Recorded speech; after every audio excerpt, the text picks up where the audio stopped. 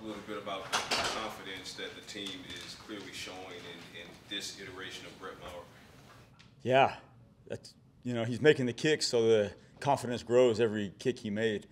And I think he had a 53 yarder, a 45 yarder, then a couple shorter ones, and I think he's made all kicks over 50 except the the bomb at the end of the half we, we missed just a couple weeks ago. So he's locked in. Snaps are good, holds are good, and he gets great work days on Thursday and Friday. So I think his process throughout the week has been great. So ton of confidence in Brett, man. Wasn't sure. Michael Gupping, Dallas Morning News. Michael. Wasn't sure when we would see your kickoff team cover one, but it finally happened there in the fourth quarter. Yep.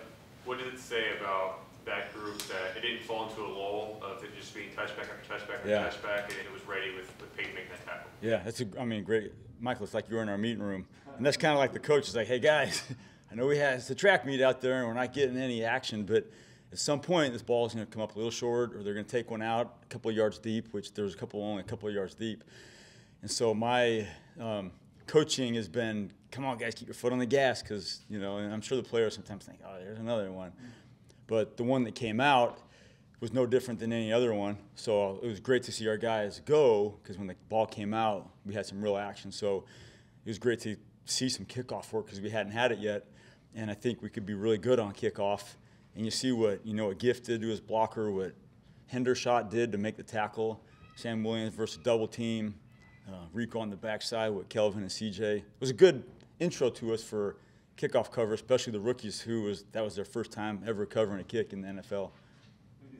The way that you guys have just kind of just kicked it for touchbacks thus far, is that a reflection of the confidence in this defense to just, okay, we'll start at 25 and we'll take our chances with them? Is that, is that part of the thinking?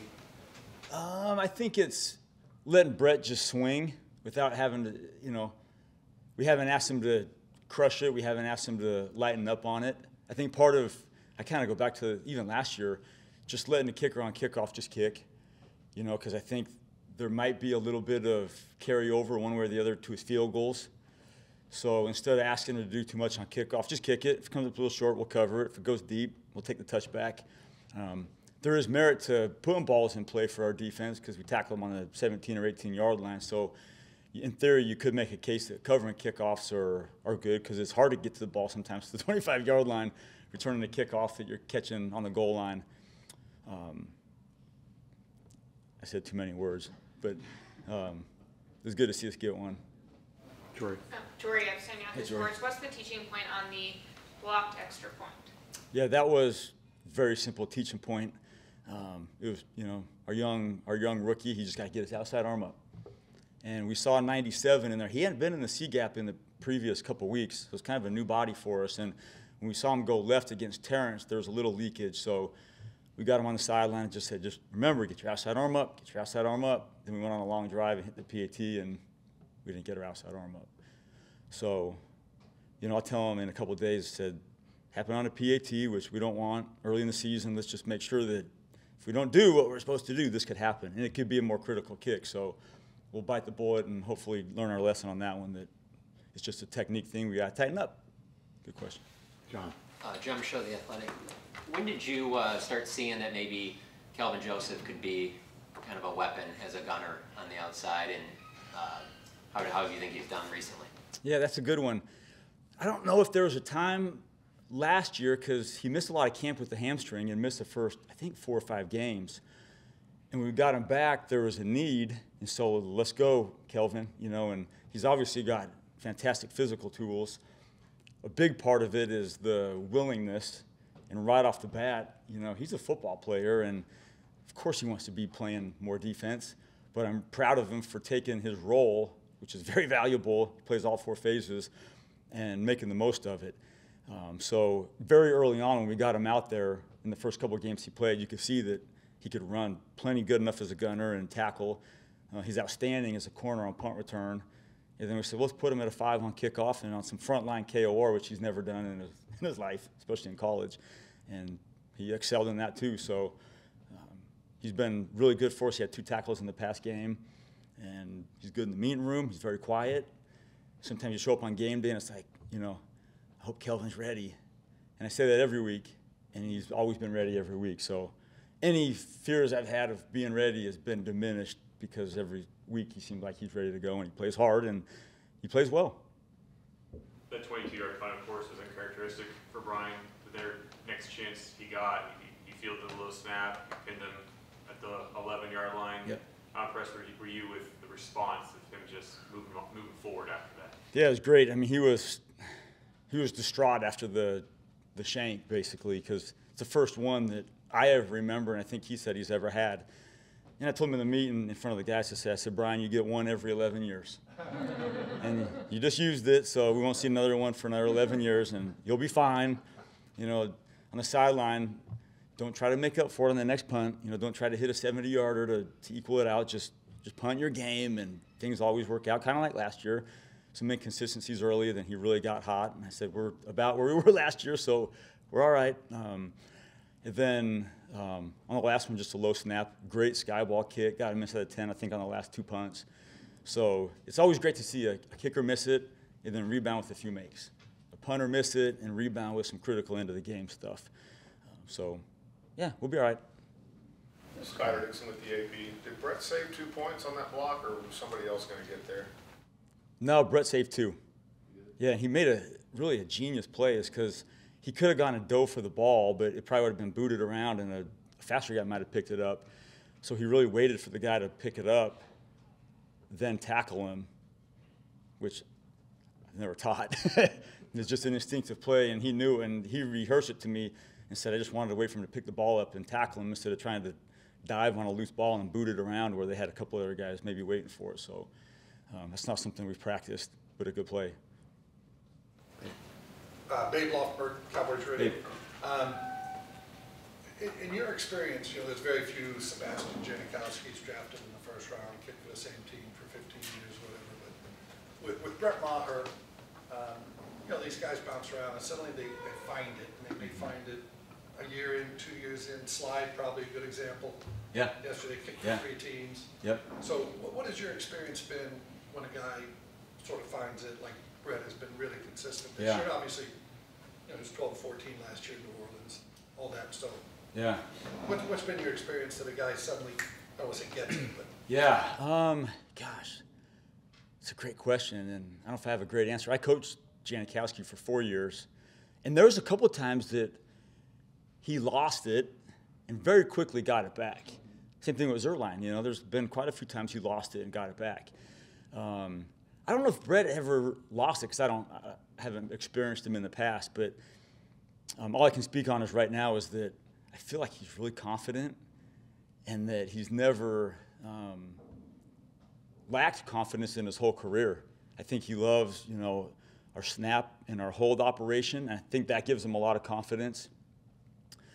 Um, and then being here in Dallas the first time, I think really helps him come back and understand some of the expectations. And there's a maybe a piece to him that says, okay, I'm going to go out and I'm going to kick. And I'm not going to really worry about too much. And that could be part of it too. So I don't have a good answer, you know, how a guy might find it other than the confidence he has in, his, in himself or his teammates' operation, or just saying, to be honest with you, this might be my last chance. Hell with it. I'm swinging at every kick, and sometimes that's also a good thing too. I'm not worried about not worried about getting cut anymore because that's already been done. So I don't know. It's a good one. because when he was here the first time, his kicks were solid. Yeah. It wasn't balls, you know, you see guys spraying, obviously. I mean, he was missing by a foot. Yeah. Did, did you go back and look at all his kicks from here? Yep. First time around? Yep. What was your thought? Uh, I think In order, in, in other words, Yeah. Yeah, my thoughts getting him in here was based off of the workouts we had in training camp and even last fall. Where last fall, I felt that when we brought him in, we brought him in with Lirim, and we kept Lirim over Brett. Um, just because Lirim, Brett was still, I think, gaining some confidence back, whether whatever it was with the previous injury and stuff like that. And then we brought him in this training camp. It was a really a new Brett compared to my experience with him the previous fall during that midseason tryout. And you could tell that whatever it was, whether he was healthy or he just had some more time to train on his own, he was uh, much more confident in the tryout the previous fall. There was a little bit of You could tell maybe a little nervousness with him, but this past training camp there was none of that. So it was really cool to see him where he came from last fall to this training camp to be able to say, yeah, this is this guy's ready to go and we need him. Wanted to ask you about um, Turpin's two uh, punt return chances, I suppose you'd Yeah. call them in the first quarter. Um, The first, is poison the word that you guys Yep. use as a scatter? And what, is that a rookie mistake of just not getting out of the way? And it didn't cost you this time, but could if it happens again? Yeah, no, it's good you probably saw it on film. That he made the right decision to not field it because it bounced at about the four. But he was still in range of the ball bouncing back and hitting him, which I think is what you're alluding to, Michael. Yeah. So I talked to him on the sideline about it. You have a couple options: is to throw a fair catch up, even though you're not going to fair catch it, but you got to run away from it to get away from the ball and maybe to pull the cover away from you, or don't fair catch it. That way you can still block any of their cover guys, but still getting away from the football. And you could see that it went over his head, and he put his hands on his head like, oh shucks, it wasn't a touchback more so than I made a mistake, but you got to get away from the football because it's still live. And um, my experience with returners too, and I kept talking to him like I did Bryan, is you're not getting opportunities, but don't force an opportunity. And definitely returners sometimes have that in them when that's kind of their role is I'm not getting one, it's touchback, it's great high directional punts, I got a fair catch.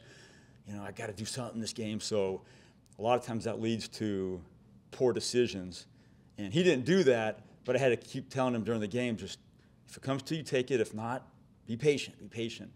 Um, but rookie mistake, yeah, just got to get away from a live ball that's bouncing around the goal line.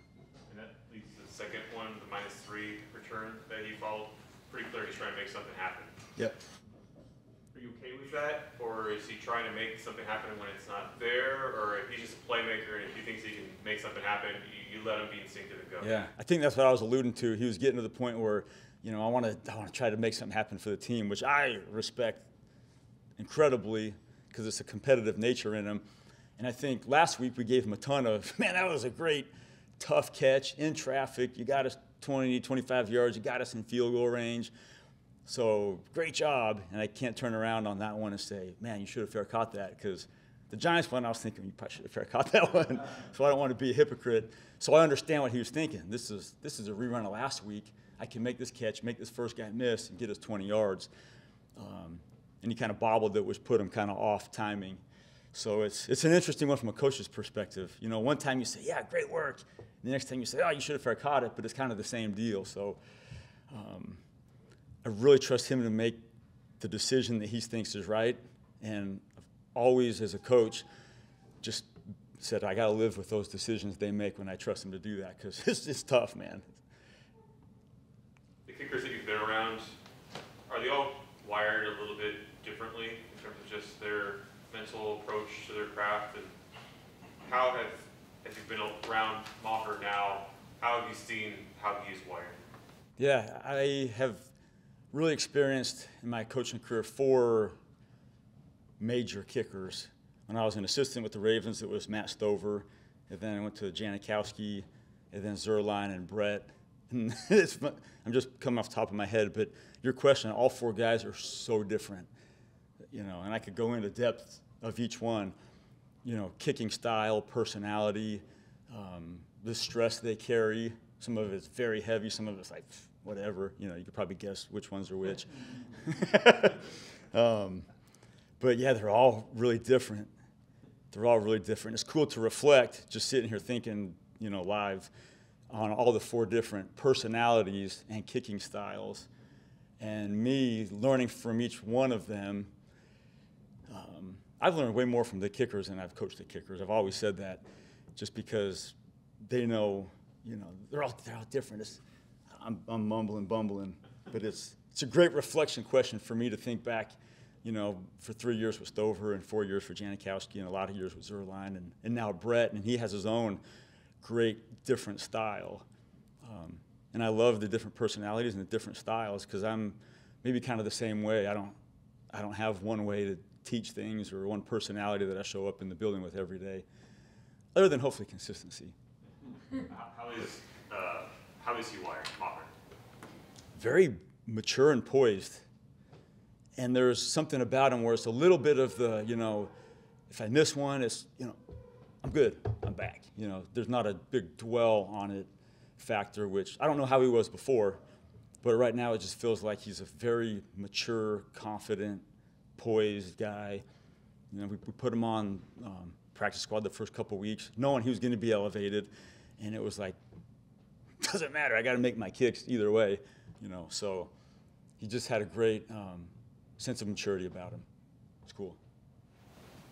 Okay. Thanks, sir. All righty. Thanks, you guys. See ya.